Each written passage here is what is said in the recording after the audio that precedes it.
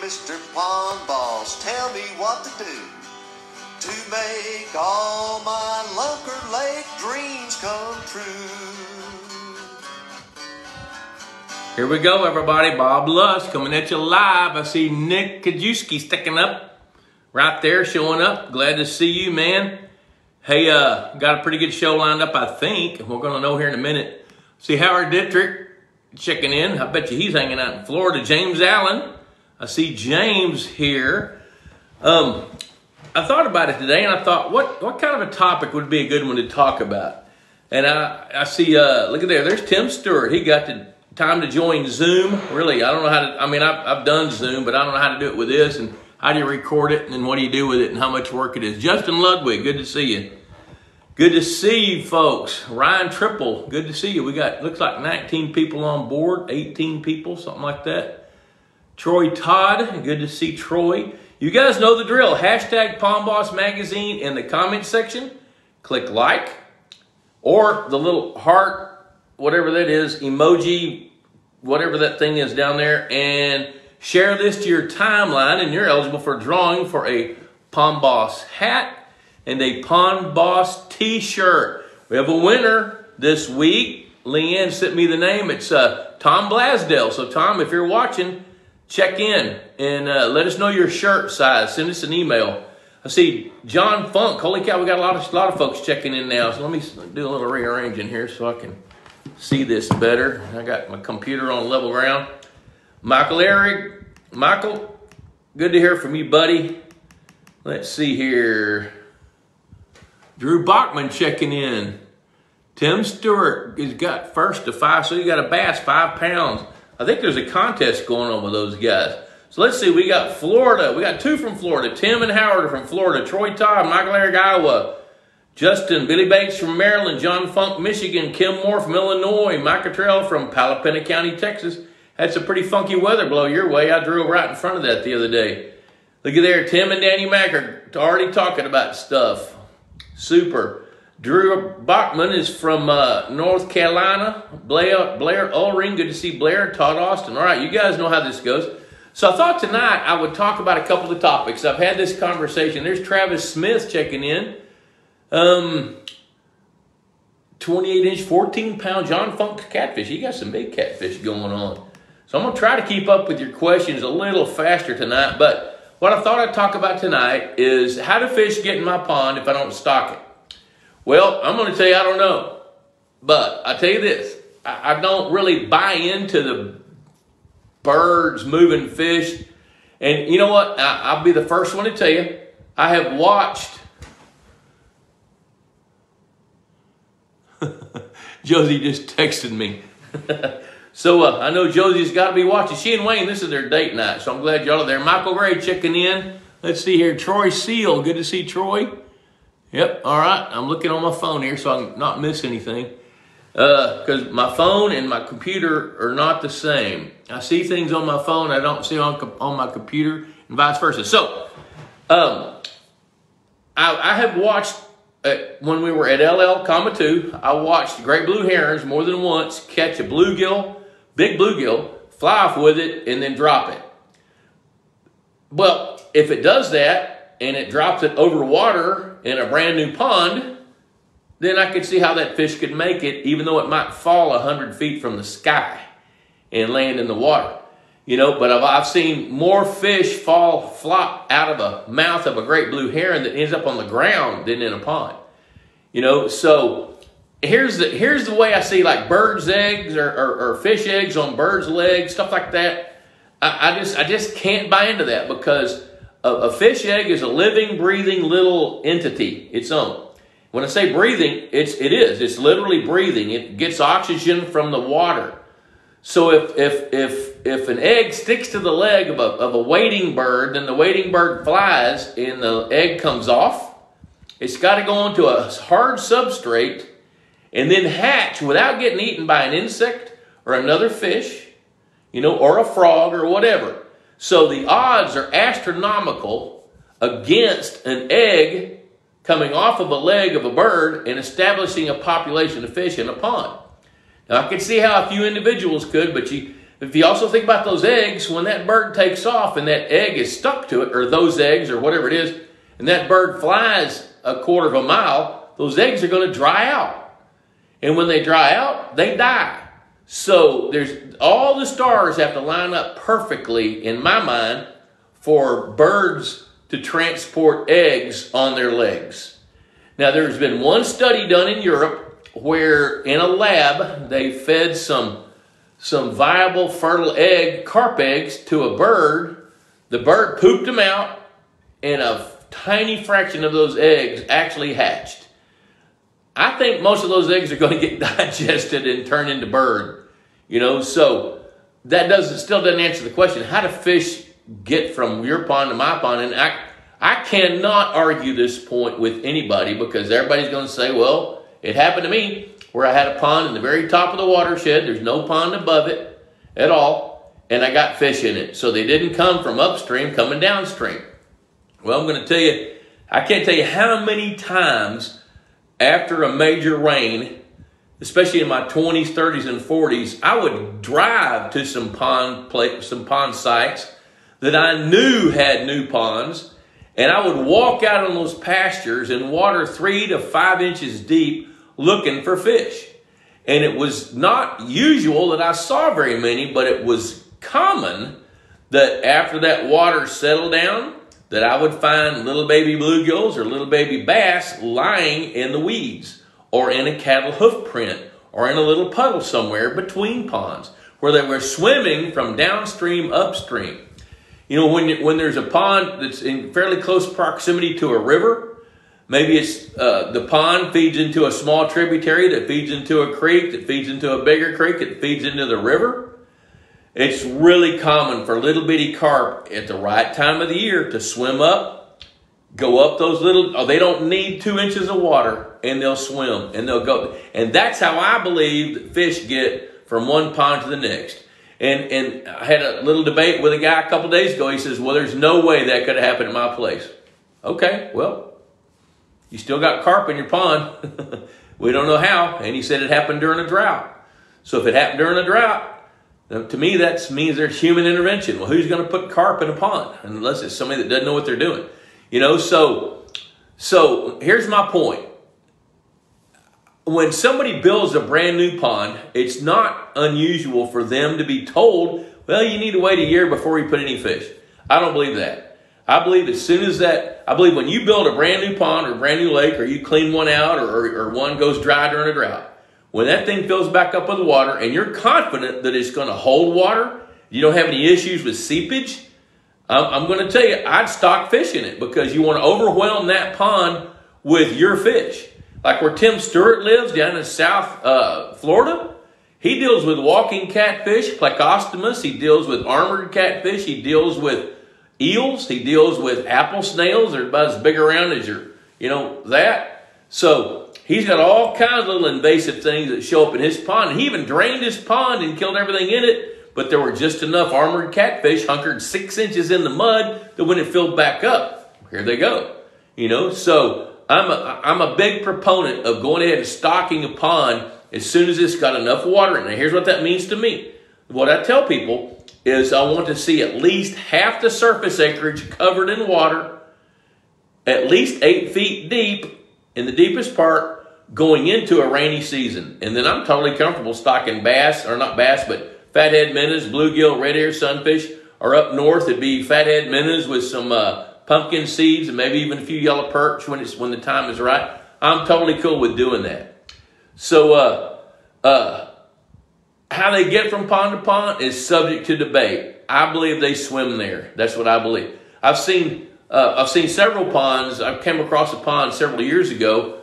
Uh, this uh, fellow out of Austin built two ponds, one one above another one on his property, which is directly across the street from a well managed pond across the highway outside of Bastrop, Texas. And he didn't do anything with it. So uh, he built the pond. Seven years later, he calls me. He says, Hey, I think I'm ready to put some fish in these two ponds. Well, I happened to be going to that neck of the woods, so I popped in, looked, and I saw all kinds of little bitty bait fish. I saw little baby bluegills. I saw little bitty baby bass. This was in April of the year, swimming all around the edges. And I said, Hey, you know, I, I can't comfortably sell you four or five thousand dollars worth of fish. I think we need to bring the electrofishing boat down here and let's just see what you got because this pond's been here seven years.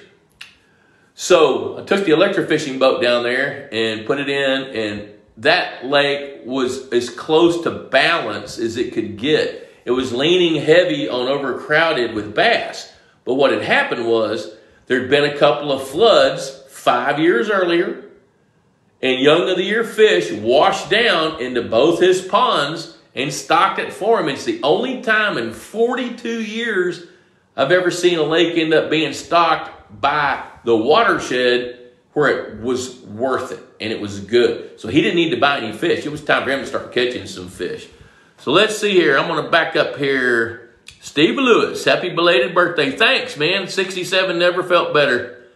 Um, Howard says, a quarter acre pond, what do you use after you've treated the surface algae with diquat, but now there's slime everywhere? Can't pull a beetle spin through the water. Copper nicks? Um, you know, if, if, if there's slime everywhere, if it's floating on top of the water and it's a variety of colors, it's dead. Now, if it's that bright green, algae and it's growing, looks like angel hair maybe, or little puff balls under the water, then you do need to treat it again. And, and the go to is copper based algicides for that. Dave Weber, I got a great. Now, if it, if it is, I'll tell you this this is something Howard would actually do.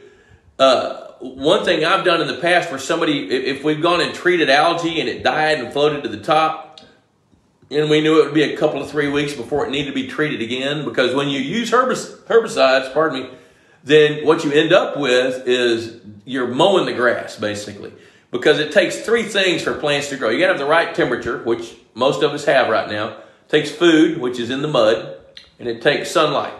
So if you take away any of those three, then that plant's not going to grow. And every plant's got its own window of temperature growth. So it's just going to start growing at different temperatures you know. And so uh, in that case, it's when you treat it with a herbicide, it's a contact herbicide that's going to knock it out, but then something else is going to come back if those three circumstances exist. So what we would do is to um, get a pump, and I had a I had a Honda pump back when I did this. I don't do this anymore because it's not fun. But with that Honda pump, I bought a fireman's nozzle and I put on the outtake side, put a screen on the input side, and set that little Honda pump on the shore you could actually spray those mats of algae, break them up, and they, they break down a lot quicker. All right, let's see here. Dave Weber, I got a great nugget out of the artificial habitat article in this issue of the magazine. Really enjoy all of yours and all the different authors' articles. Thank you very much, David Weber from uh, northwestern Missouri, northeast of Kansas City. Howard says, if you build, oh, tonight I'm drinking water because Debbie brought it to me. Yeehaw. So Howard says, if you build artificial trees out of PVC, etc., do you have to rough up the surface, surface to facilitate the attachment of right stuff? That's smart to do. If you just take a real rough piece of sandpaper, just, just run it up and down it two or three times, rough it up, then that gives it better adhesion points for periphyton to grow or microscopic colonies of algae. And it, it does work better if you rough it up because, you know, some of that, those bacterial colonies and the periphyton colonies things, when they try to attach it and it's smooth, just a little bit of wave action will knock it off and disrupt all that. So let's see here. I think Matt Marsden rubs his up. Matt Marsden with American Fish Trees on here, watching what we're doing here. Billy Bates, Bob, why do even my biggest bluegill gobble up the Aquamax 400 but spit out the 500? Nine times out of ten, they prefer the tiny pellets over the bigger pellets. Observe this over and over again. I do not know the answer to that because the only difference between 400 and 500 is the pellet size. So I could see how small bluegills would have a hard time swallowing a bigger pellet. I can see that. You know, so I don't have a good answer for that, but because I don't think that happens everywhere. So uh, I would just about, I would almost bet it's because the size of the bluegill that are, that are eating it. That would, that'd be what my best guess would be. Now, here's the caveat to that. Bluegill don't all grow at the same rates. So there should be some bluegill big enough that they would eat that 500.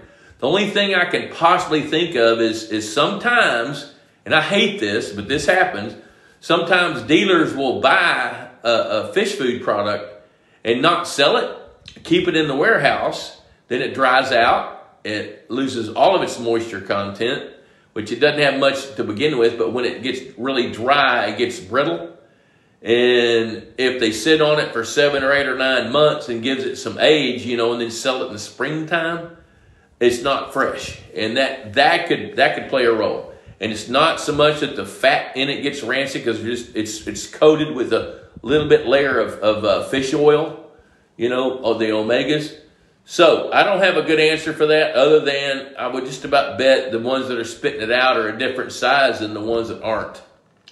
Travis said, I asked you last year, a neighbor here built, built a quarter acre pond. I watched him build the pond. The pond filled up. He stocked fathead minnows and bluegills in March and bass in June. Last year, he was fishing last October and caught eight bass or eight catfish. He was shocked he did not put the catfish in there. And there's no ponds close by. Yep. Well, yep. Well, I tell you this if a fish hatchery includes catfish in a bag of minnows or a bag of bluegill, they won't stay in business very long. The reputable hatcheries don't do that. Now, I tell you what I have seen from just rare occasion is at a fish hatchery, they have all these concrete tanks, right? And that's where they store their fish. They bring them up from the ponds. They put them in these concrete troughs, long uh, rectangular troughs with aeration and well water typically. They fill them with pond water then convert it to well water to flush the pond water out, let the fish clean out, and then they'll load those fish and transport them to the dealer or to a pond or wherever they're going. On a rare occasion, there can be a few fish left behind. Now, it also bet you that in this pond that you're talking about here, Travis, look at those catfish and see if they're bullheads. If they're bullheads, they came in in that watershed. Okay, Adam Clemens says, uh, talk to us about aluminum sulfate for phosphate mitigation. All right, so what what he's wanting to know there, Harrison Davis, good to see you, buddy. Matt Marsden is waving at us. All right, so Adam, aluminum sulfate, here's what it does. It, when, you, when you apply it properly, when the aluminum phosphate, I mean aluminum sulfate hits the water, there's a chemical reaction that causes the aluminum, aluminum and phosphate to separate, then the aluminum grabs, the aluminum sulfate breaks apart the molecule, then the aluminum grabs the phosphorus, causes it to flocculate or make bigger parcels, then it settles out, sequesters it into the bottom. Now you got to be smart about that because when you're when you're when you're adding aluminum sulfate to a pond, when that chemical reaction occurs, and it's, it's, I tell you what it's like. It's like a positive and negative magnet that attracts. So the aluminum's positive, the phosphate's negative, uh, the sulfate's negative. So the sulfate releases, the aluminum grabs that uh, phosphate, and then it causes those little clumps to form, and then it settles out and it lays on the bottom, so it flocculates out. But when that happens and that sulfur is left in the water and it can't connect to something, you can only get to a certain point where your pH is going to plummet. So you've got to be really, really careful. Ask me how I know that. Or you're going to kill fish. So if you do it, you need to do some really um, explicit calculations. You need to know water volume. You need to understand the water chemistry. You need to know how much phosphorus you're trying to sequester. Here's another thing about trying to sequester phosphate. It's the phosphate's got to be free dissolved into the water or you're not going to do it. If it's if it's bound in blue-green algae or if it's bound in any kind of living plant, the aluminum sulfate's not going to sequester it. So there you go. Now I am going to talk about sunfish here in just a minute. Travis is still waiting on his magazine. I have no idea what that is. Send an email to info at pondboss.com. I tell you, we have this year since probably since September of 2021 up until now, the post office is not delivering everybody's magazines. And it's irritating as hell because I spend $2.25 with the printer and the layout guy and postage to get those magazines printed up and gone to the post office.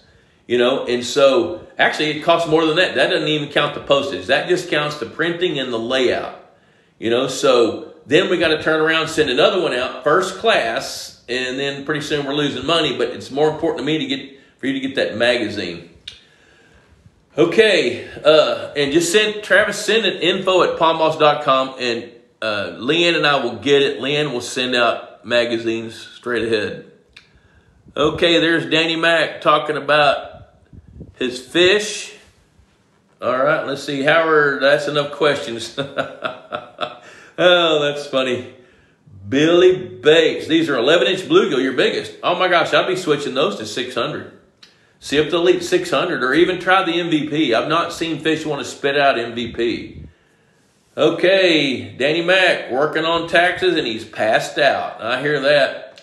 Hey, Dave Hamilton, good to see you, brother. Good to, good to talk to you. I think you just heard the spiel about uh, aluminum sulfate. Mike Cook from Charlotte.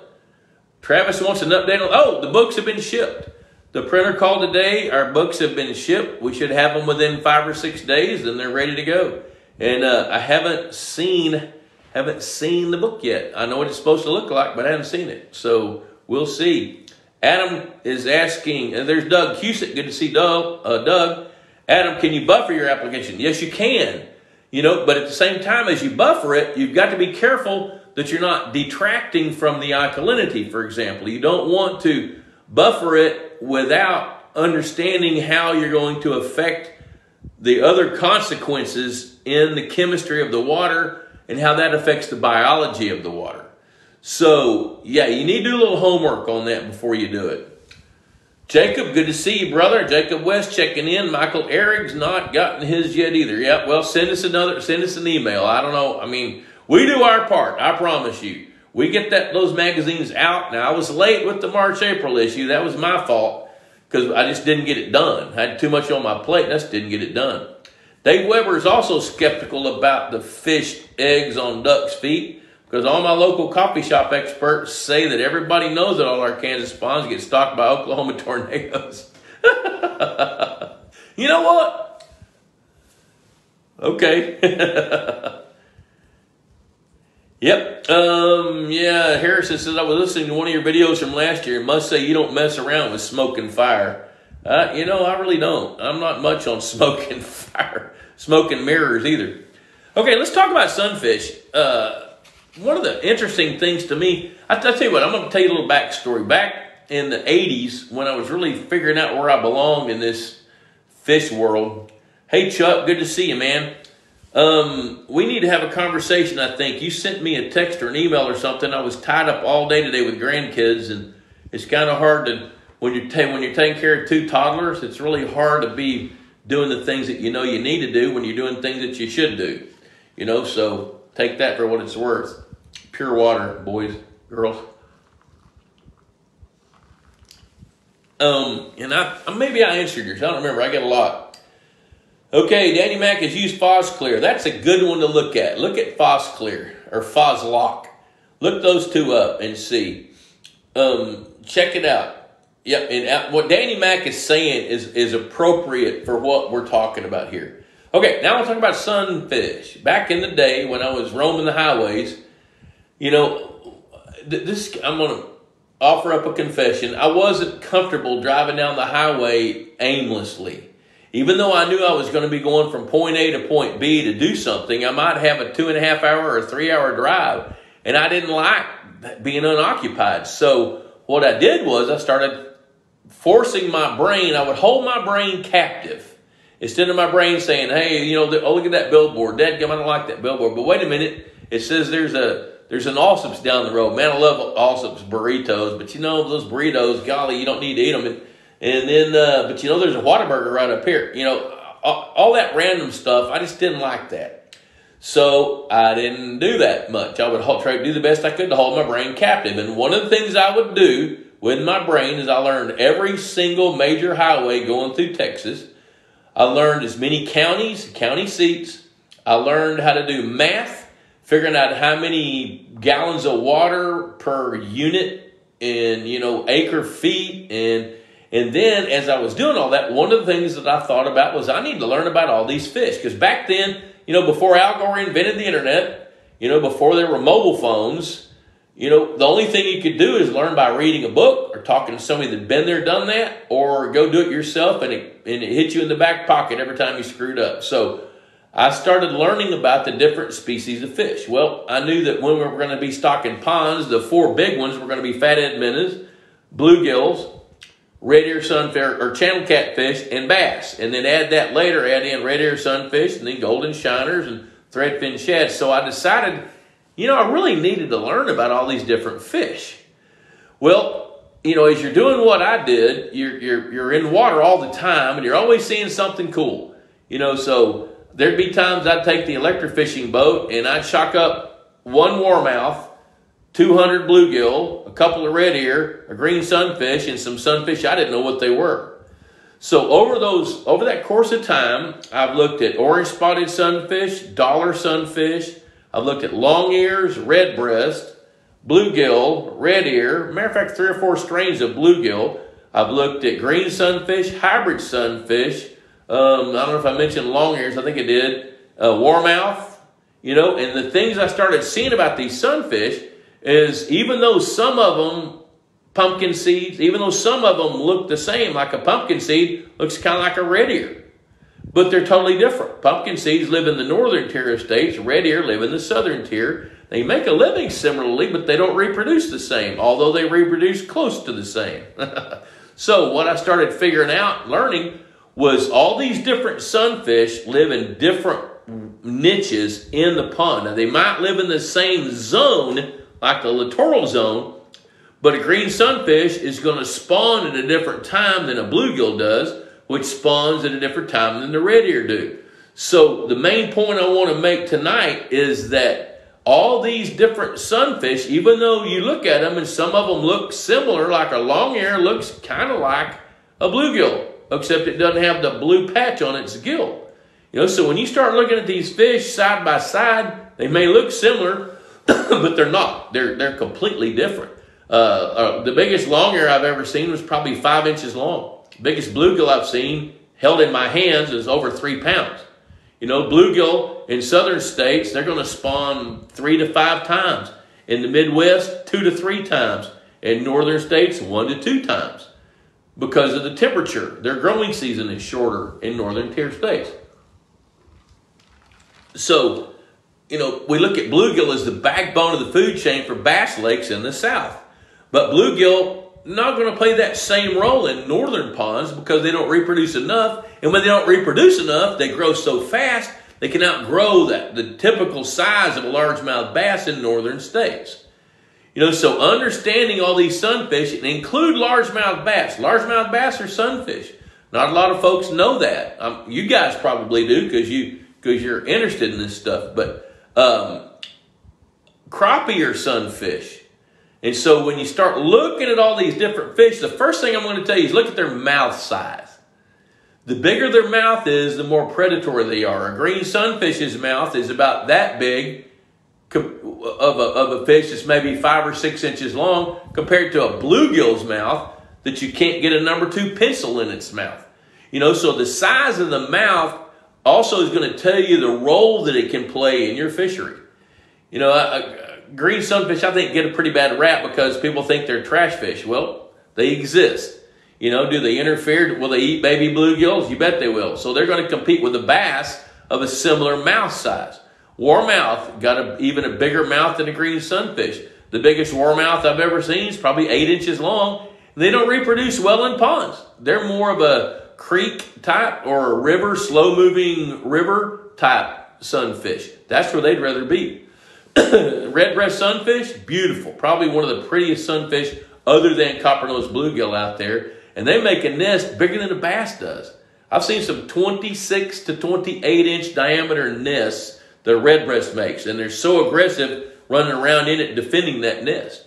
You know, so all these different sunfish, green sunfish, they're native at almost every watershed in the United States. So don't be surprised if you build a brand new pond, if you didn't take out some of the puddles in the creek, don't be surprised if you wind up with a few green sunfish. And if you do, it's not the end of the world. They reproduce once a year. You know, so once the bass get established, even though the green sunfish are, have a bigger mouth and they're a little bit more aggressive than their other than their cousins, you know, simply because the bluegill cannot reproduce them and the bass cannot overeat them, uh, green sunfish numbers will typically drop by about year three or four or five. There's been a very, very few occasions where I've suggested that people eradicate green sunfish to start a pond over. Usually I say, you know what, there's a missing size class of bass that can control those numbers. Because if the green sunfish got out of hand, it's because they swam from a pond downstream before the pond got stocked. So that's, that's about all I got to say about that. So I did want to talk a little bit about the different species of sunfish and what I think is real important for you guys to know is to uh, understand when, when you catch one you don't know, uh, shoot a picture of it, look it up, learn about that fish because not all sunfish are bad sunfish. Some of them are great. Okay, let's see here. I see uh, Scott and Leah's checking in.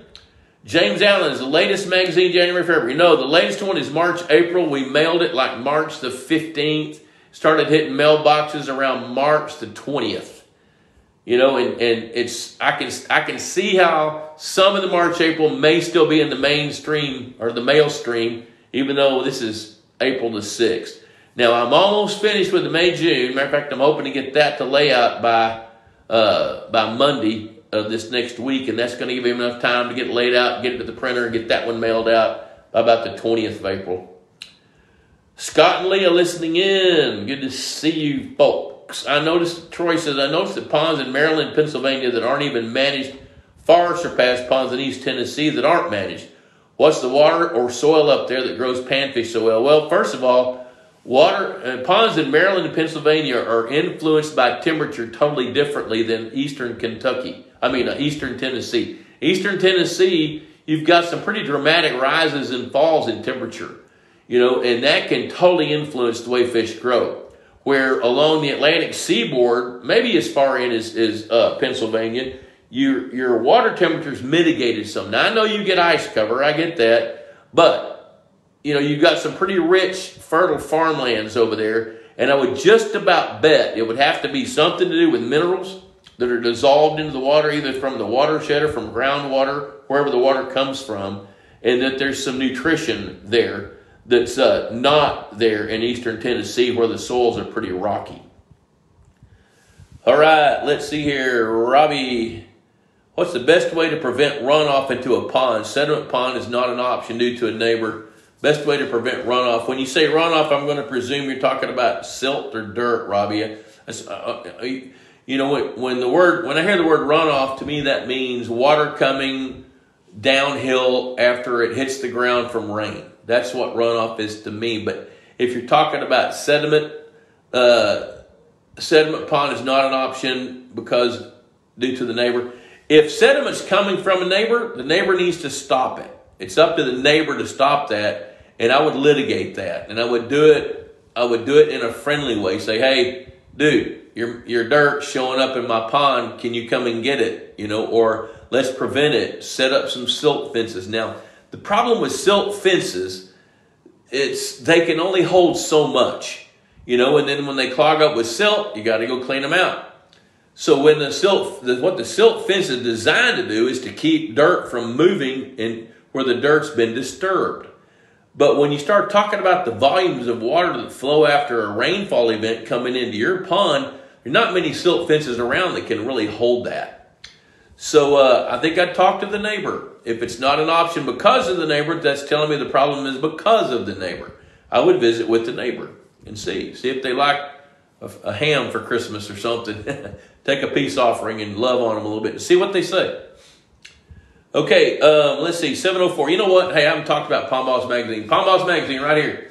Right here. 35 bucks a year. Dave Weber got some nuggets out of this latest one from Habitat. And oh, by the way, Chico and I just finished a, the probably the best video that we've ever done. That's going to be it's about fish habitat. And here in another couple of weeks, it'll be uploaded to the Institute of Higher Pondology. Now, I'm telling you, there's some premier um, knowledge and information on that Institute of Higher Pondology. Yes, I'm going to sell it because it's going to save you the dumb tax. That's what I tell people, and I totally believe that. I believe it will help you save the dumb tax. And when we post up this video on Habitat, Debbie watched it today for the first time, and she's highly critical about stuff that I do sometimes. And she looked at that. She said, This is the best video you've ever done. It's like 27 minutes long. We go visit five different places, five different lake sites where guys are building new lakes. And it, it I have to tell you, it really is good because three of those guys did exactly what we told them to do. Another one was kind of there, and another one didn't do a thing we told them to do. So it, not only does it tell you what you what you should do and you shouldn't do, it it it shows you you know the upsides and downsides. So it's that's a good it's a good video. Institute of Higher Pondology, pondboss.teachable.com. Pond Boss Magazine, 35 bucks a year. Uh, cheaper than a Friday night date. Debbie and I are going to go to dinner after this, and I guarantee I'm going to spend more than 35 bucks on that dinner when we go out. So, um, also like to thank our sponsors, Purina Mills. I've worked with them a long time. You know, uh, I think they have some of the best products out there. I, I know that, that there's times people get frustrated with their distribution system. Like a while ago when I was talking about some of the feed, sometimes the dealers don't do what the manufacturer says. The dealers, they sell a variety of different brands of products. You know, and so you kind of take that fish to the water, but you can't make it eat. You know, that's kind of the way it works sometimes with the dealers. So sometimes it's up to us to educate the dealers on what we want and make sure that the, the fish food's fresh, for example. But I love Purina Mills. Their ears are always open and their heart's in the right spot and their research and development is right on. And I, I'm, I'm a big fan and I have been for a long time because I've been around them a long time. Uh, Texas Hunter Feeders, Chris Blood, that team there, uh, Dale Baden, president of Texas Hunter Feeders. Great people, great products, great people, great customer service. Uh, Easy Docks of Texas, David Schneiderman. I haven't seen him on here tonight. He usually is, but I haven't seen him. But uh, he's a sponsor as well, and I totally believe in these folks. And I tell you what, when we when we put advertisements in Pond Boss magazine, I vet them. I don't take an ad from somebody I don't believe in, and I have conversations with them. I want to know how they think and and how they do business. And there's been more than once, more than once, I have rejected ads because they didn't make sense to me and it, it, and I didn't I didn't agree with the with those folks. Another good resource for you is our Pond Boss resource guide. We can mail you a hard copy, or you can go to pondboss.com and, and look for the resource guide. That's full. That's full of advertisers in the different uh, arenas: aeration, pond construction, uh, pond management. You know, air, uh, just all the different kinds of vendors that we've got. So that's a good resource for you as well. So let's see here. Yep. Um, Robbie best way to prevent runoff. Yep, we talked about that a little bit. Um, Danny Mack says, but now our small pond is so clear the bass can see everything around the pond, including me. And they're going to watch you too. Uh, see, Harrison Davis, not quite. Let's see, dressed like a tree or a bush. He's telling Danny Mack how to dress when he goes fishing. That's great. Um, what type of aeration system would you say increases the pond's dissolved oxygen the most? Harrison Davis is asking it. You know, I'll tell you this. Aeration systems, in my opinion, and you know what? Actually, I can back this up. There's only one kind of aerator that adds dissolved oxygen to the water. That's a paddle wheel aerator like you see on fish farms in the Mississippi Delta. So how does that work? That's that's a good, timely, good question there, Harrison. Uh, bottom diffused aeration, I think, is probably the best one to increase dissolved oxygen, but the aeration doesn't do it. The system doesn't do it. What it does is it creates vertical currents, which pushes water from the bottom of the pond to the top and exposes it to the atmosphere to allow that water to, to get rid of, of its extra gases while it absorbs oxygen and migrates back through the, the, the, the whole water column. Now, fountains, they don't draft deep enough typically to, uh, to aerate that well. Um, circulators, all they do is really move water horizontally or diagonally. You know, and, and I think all those tools are great tools for the right application, but your question is about increasing DO. I think bottom diffused aeration systems create a current that pushes water from the bottom to the top and circulates it in vertical currents, which allows the atmosphere to increase the dissolved oxygen with the water. And it takes, it, it, it's not something that happens fast because it's uh, where it's kind of like water being the sponge that is soaked with the gases it doesn't need. It's got to expel those as it's absorbing the gases that it needs from the atmosphere. So that's how I like that. So, um, John Brewer, how do flyer sunfish affect bass ponds? They don't affect it at all. As a matter of fact, the only time you really see flyer sunfish, if they're in a pond, like the, the few times I've come across them, I came across one at Richmond, I say one, I, I guarantee you there's a, there's a state, a North Carolina state record flyer in Richmond Mill Pond outside of Laurel Hill, North Carolina, near Laurinburg. I have electrofished quite a few of them in there, and that water is so flyers need water that's moving. They like that black water, like it acid. I've seen flyers in oh probably eight or ten different ponds in my career, and most of them are black water ponds with some water that's moving. That's where they can thrive. So they don't affect that pond at all because they don't get in there and compete with all the other sunfish. They live in a totally different niche in the water. They feed similar to a bluegill, but they don't affect bass ponds at all. There's Billy Granholm checking in. Good to see Billy. All right, let's see here. We'll scroll down and see what we got here. Harrison Davis is enjoying and recommend the Pondology course. Thanks, man. Uh, I'll be after. I've got Chico to do one more video, and when he gets that one finished and I'm comfortable with it, we're going to upload two more videos. And something else, once you buy into the Institute of Higher Pondology course, and if you buy all, if you buy the whole thing, all six different modules, it's four hundred ninety-five dollars. And I guarantee you, if you're getting ready to build a pond or stock a pond, and you want to know more about bass genetics or or how to stock fish, if you buy that, promise you, you're going to save more than that on the mistakes you don't make. I promise you that. And uh, when what, where I was going is every time we add a new video, you don't have to pay for it. You've already you pay for it one, once, once and done. Okay, David Kent, I've been seeing two-inch bluegill dead or dying, scattered around the edge. Some marks that indicate they may have bitten by larger fish, but some have no damage at all. Am I correct in thinking they just spawned so early this year that there's not enough food to keep them alive because the water hasn't warmed up enough yet? No, that's not correct thinking. What I'm going to suggest is when you see two inch bluegill dying, there's something going on with the water. Uh, I'm, I'm writing an article right now about fish afflictions that'll be in the May June issue of Pond Boss.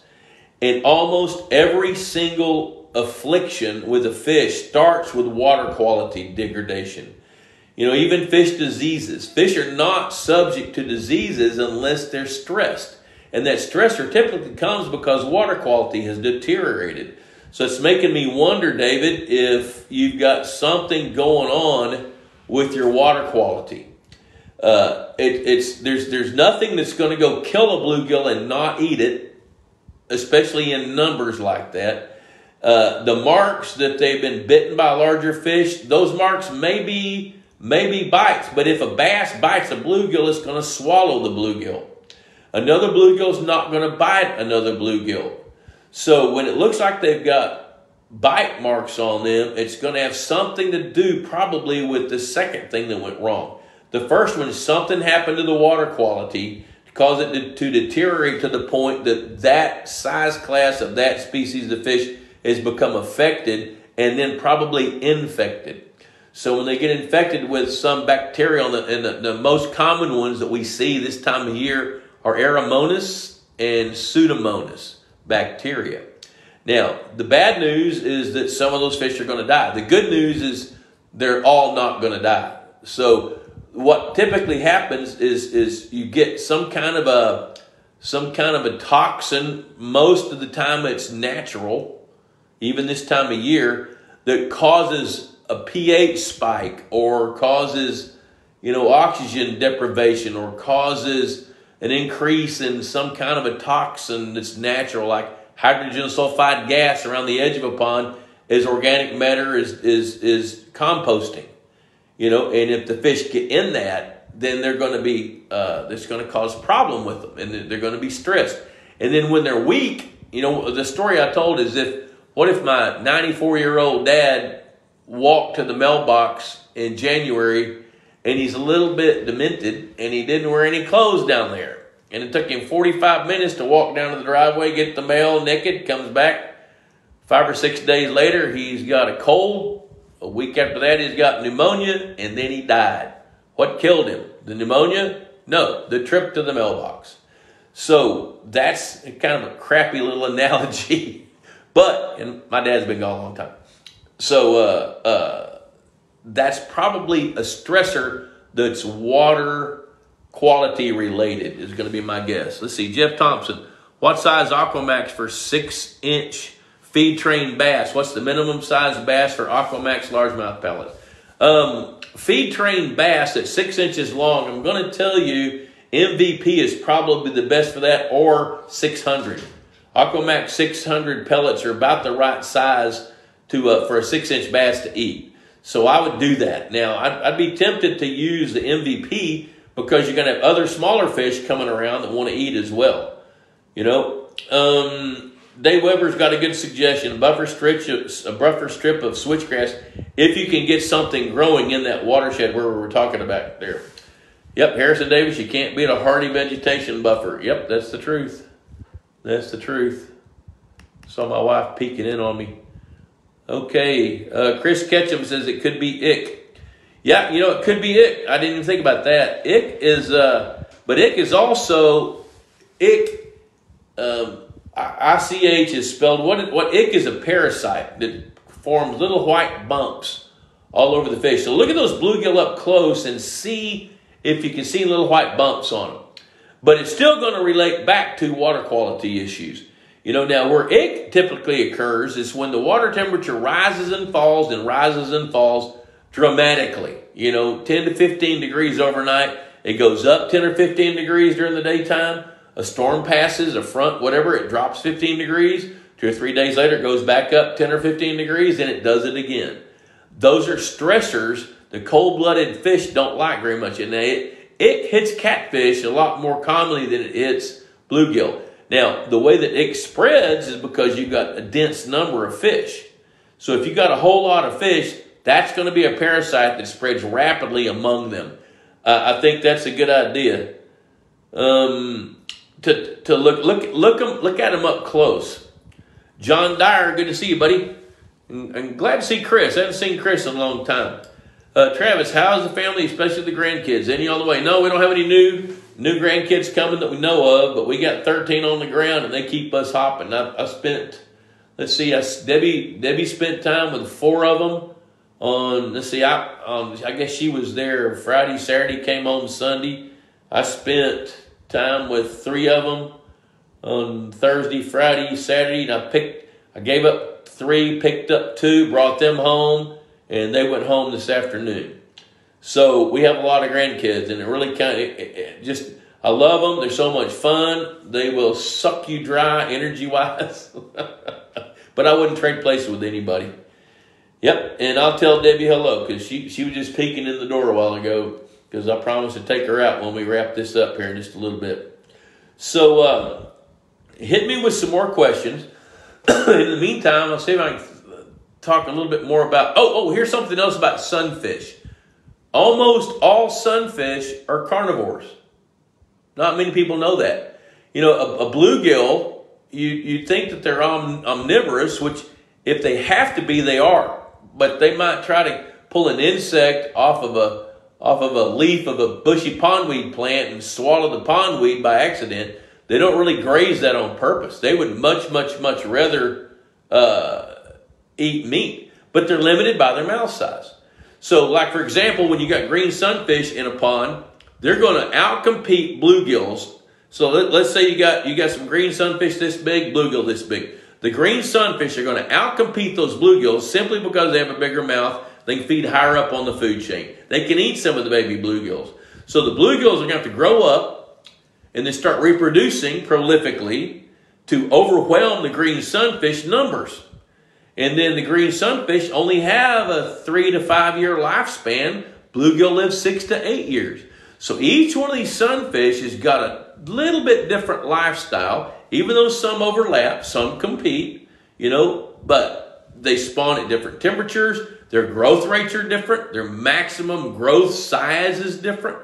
You know, crappie, I think state record in Oklahoma is like four pounds and 12 ounces or something.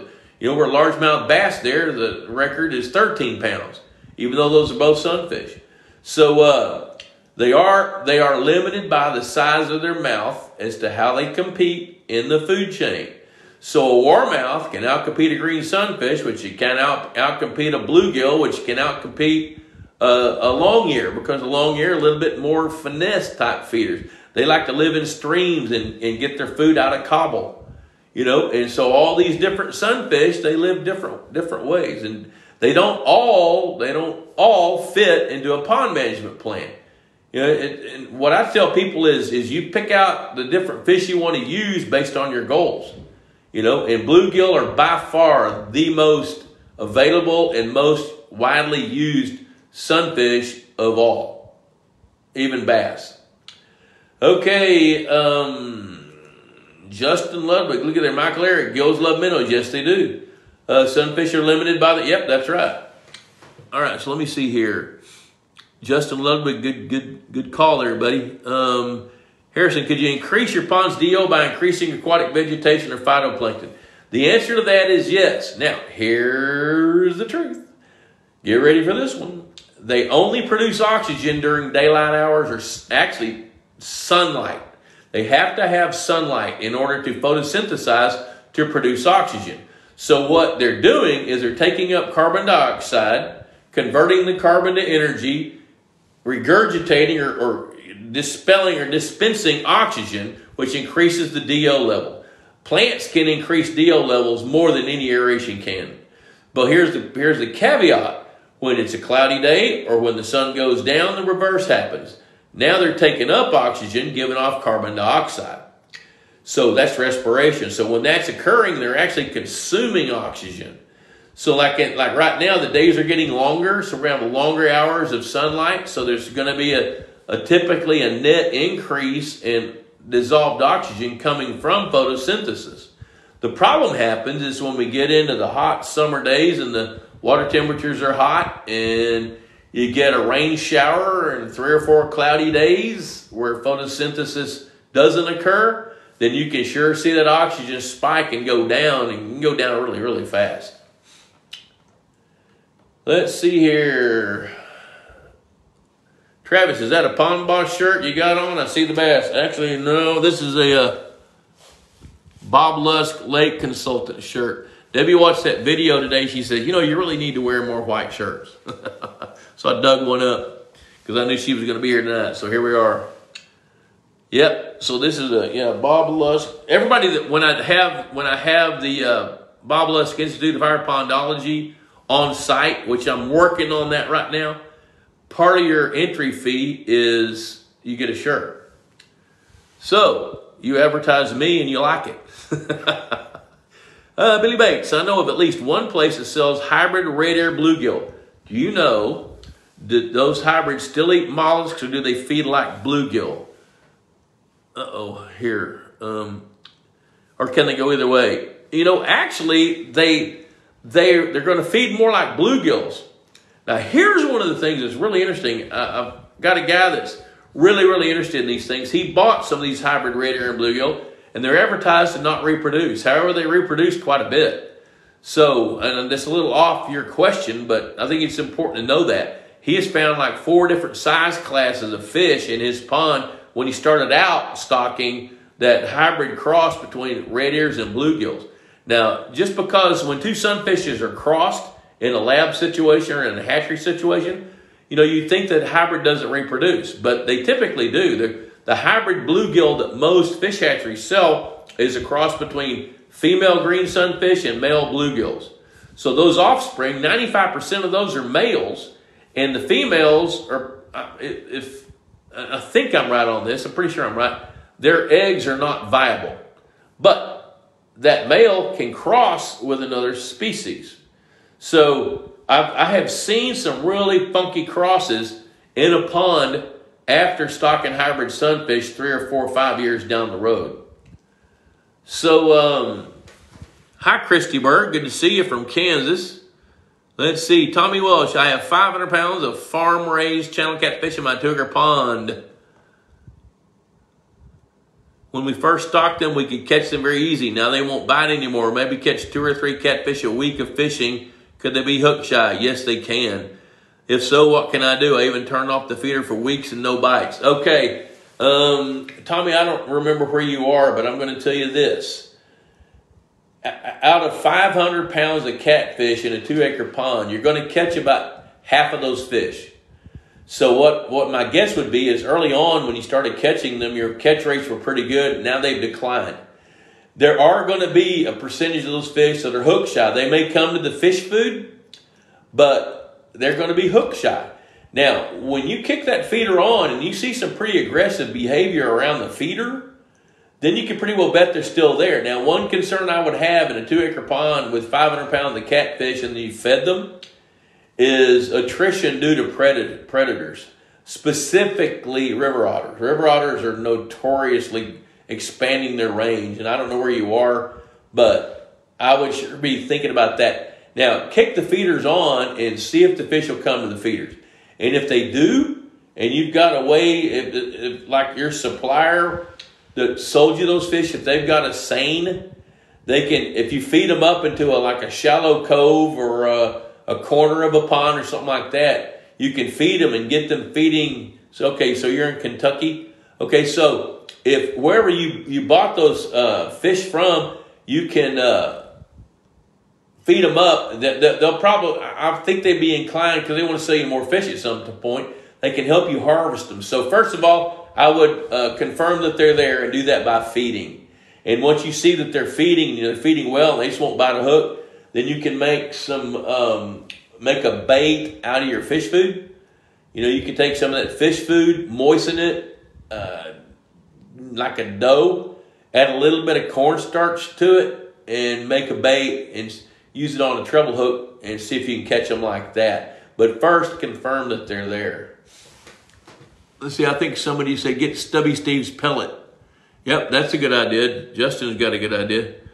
Okay, uh, Travis, you're welcome. Danny Mac, daytime photosynthesis produces unusable sucrose sugar. At night, the plant works to turn the sucrose into the thousand usable needs. I wonder if the extended cloudiness forces the plants to continue respiration. It forces them to do respiration because they don't have any choice, because they have to have UV rays from the sun to photosynthesize. Okay, it looks like we're getting to that stopping point. So uh, I'm going to go take my bride to the 19th hole here at Pecan Plantation. Pond Boss Magazine, 35 bucks a year, cheaper than the date that I'm fixing to have, and this is going to last a few hours. This lasts for a year. Uh, pondboss.com, Ask the Boss. There's a lot of free articles. The discussion forum, Ask the Boss. We've got all, all these videos that we do here. Leanne uploads them at some point to YouTube and links back from our, our Pond Boss website. So that's a good resource for you as well. So uh, I'm going to tell you guys adios and ladies, and I'm tickled to death to be able to hang out with you and uh, on this Wednesday. So I'm not sure where I'll be next Wednesday, but I got a feeling it's going to be with you guys. So until next Wednesday, adios.